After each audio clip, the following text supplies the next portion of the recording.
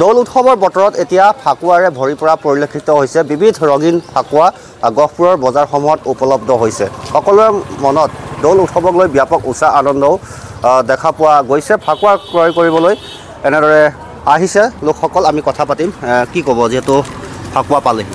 হয় ফাকুৱা ফাকুৱা তাকে কিনিবলৈ আহিছোঁ বজাৰত। ফাকুৱা যিহেতুকে ৰঙৰ উৎসৱ ফাকুৱা। আৰু এই ফাকুৱা মানে সানিলে এইখিনি সময়ত বসন্ত ৰোগৰ পৰা হাত সাৰিব পাৰি বুলি জনবিশ্বাস আছে। সেয়েহে আমিও আহিছোঁ বজাৰত ফাকুৱা কিনিবলৈ। হয়।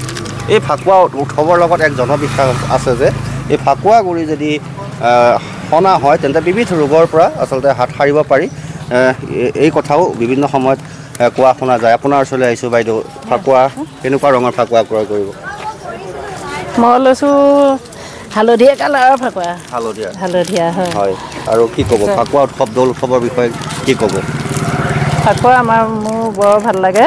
তাৰপিছত ফাকুৱা আমি প্ৰত্যেক বছৰে সৰু ল'ৰা সৰু কালত ফাকুৱা খেলিছিল নাই? খেলি খেলিছোঁ সৰু কালত। খেলিছে। হয়। এতিয়াও সেই পৰম্পৰা ৰক্ষা কৰি পৰম্পৰা আহিছে। ৰক্ষা কৰি আহিছোঁ। এতিয়াও আমাৰ গোটেই আমাৰ গাঁৱত এতিয়া দৌল উৎসৱ হ'ব। দৌল উৎসৱত আমি গোটেই মানে হেৰিবিলাকে গোটেই ওলাই আহোঁ ওলাই আহি ফাকু খেলোঁ। নিশ্চয়। আহ, সতীৰ্থ দেখাব ইয়াত বিধে বিধে ফাকুৱা গৰি বিভিন্ন ৰঙীন টুপি ফিছ কাৰী ইত্যাদি ভৰিৰ পৰা পৰিলক্ষিত হৈছে।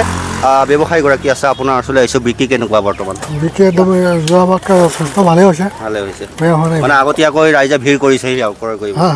নহয় জানো? দামসমূহ এবাৰ কেনেকুৱা? ফিছ কাৰী হওক বা কি কি আছে আইটেম ফিচকাৰী আছে আপোনাৰ সৰুৰ পৰা ডাঙৰলৈকে আছে ত্ৰিছ টকা আছে পঞ্চাছ টকা আছে বিছ টকা আছে ডেৰশ। চাৰিশ পাঁচশলৈকে আছে। নিশ্চয়। আপুনি দেখিছোঁ সুন্দৰ টুপি এটা পিন্ধি আছে। গতিকে ফাকুৱা বুলি ক'লেই ৰঙীন হৈ পৰে পৰিৱেশটো। গতিকে কি ক'ব?